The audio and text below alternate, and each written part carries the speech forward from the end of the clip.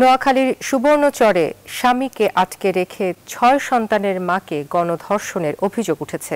রোববার সন্ধ্যা সাড়ে সাতটার দিকে এই ঘটনা ঘটে। উপজেলা পরিষদ নির্বাচনে ভাইস চেয়ারম্যান পদের এক প্রার্থীকে ভোট না দেয়ায় এই নির্যাতন চালানো হয় বলে ওই নারী ও তার স্বামীর অভিযোগ। এই ঘটনার দৃষ্টান্তমূলক শাস্তি চেয়েছেন তারা। এই ঘটনায় চরজব্বর থানায় আটজনের বিরুদ্ধে মামলা দায়ের করা হয়েছে। এর মধ্যে দুইজনকে আটক করা হয়েছে। আকবর হোসেন সোহাগের তথ্যচিত্রে ডেস্ক রিপোর্ট গত বছরের একত্রিশ ডিসেম্বর নোয়াখালীর সুবর্ণচরে চার সন্তানের জননীকে গণধর্ষণের ঘটনার রেশ কাটতে না কাটতেই আবারও ছয় সন্তানের মাকে গণধর্ষণের অভিযোগ উঠেছে। সন্ত্রাসীরা দশ বারো জন আমাদেরকে আক্রমণ করে তিনজন আমা- আমাকে ওই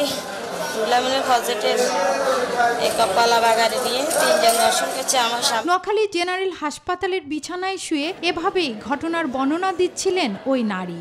উপজেলা পরিষদ নির্বাচনে কোনো এক প্রার্থীকে ভোট দেয়াকে কেন্দ্র করে কিছু লোকের সঙ্গে তার কথা কাটাকাটি হয়। এরই জেরে বেচু মাঝি, ফজলু ও আবুল বাসার তাকে কলাবাগানে নিয়ে ধর্ষণ করে বলে অভিযোগও ওই গৃহবধূর।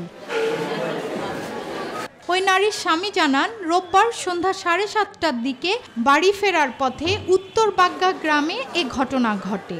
তাকে আটকে রেখে মারধর করা হয় বলেও জানান তিনি। হেলাল এ ফজলু বাসার এরা সবাই দশ বারো জনে মিলে আমার হুন্ডা ভাই হুন্ডা গিরি ফেলেছে। ওই নারীর পরীক্ষা নিরীক্ষা করার কথা জানিয়েছেন এই চিকিৎসক। চিকিৎসা চলতেছে আজকে দ্রুত তার দর্শন সংক্রান্ত পরীক্ষা নিরীক্ষাগুলো করা হবে। আর ওনার স্বামীকেও অ্যাসল্ট করা হয়েছে ফিজিক্যাল অ্যাসল্ট করা হয়েছে। তদন্তে এ বিষয়ে বিস্তারিত বের হয়ে আসবে বলে আশা করছেন চর জব্বর থানার ভারপ্রাপ্ত কর্মকর্তা। দুই প্রার্থীর মধ্যে কোনো প্রার্থীর পক্ষে তার ভোট দেওয়াকে কেন্দ্র করে কিছু লোকের সঙ্গে তার নাকি বাক বিতণ্ডা হয় তিনি দাবি করলেন। তো তদন্তে বিস্তারিত বের হয়ে আসবে। পরিবার ও এলাকাবাসীর চাওয়া দ্রুতই দোষীদের শাস্তি নিশ্চিত করা হবে।